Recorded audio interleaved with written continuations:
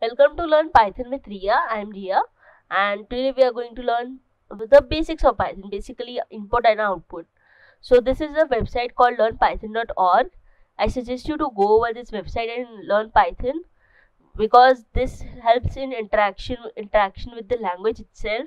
So you can either watch this video and do it along with this video as how I do it or you can go to this website and you can do as they are doing it as they're telling you to do it actually now for first we have to install anaconda.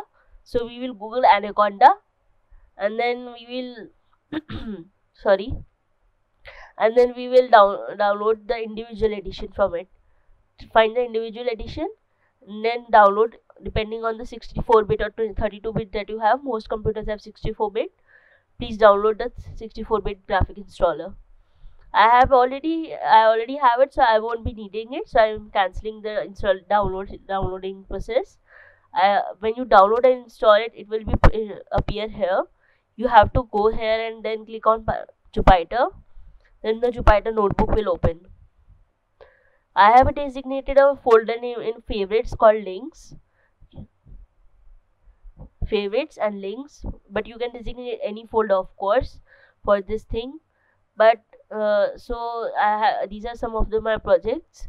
Now click on new and click on python 3 this will open up a notebook. So in this we will first of all uh, print hello world which is the first thing that you do in any language. So for that you just have to type in print.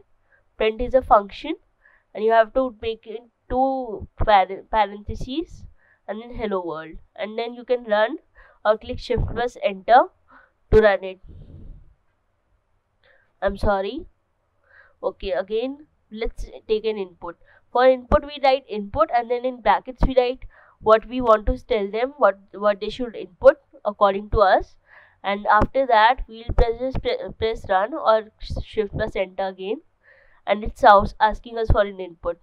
And it is giving back the input as an output. So this is how we take print an output and give an input to it. Thank you for watching until now.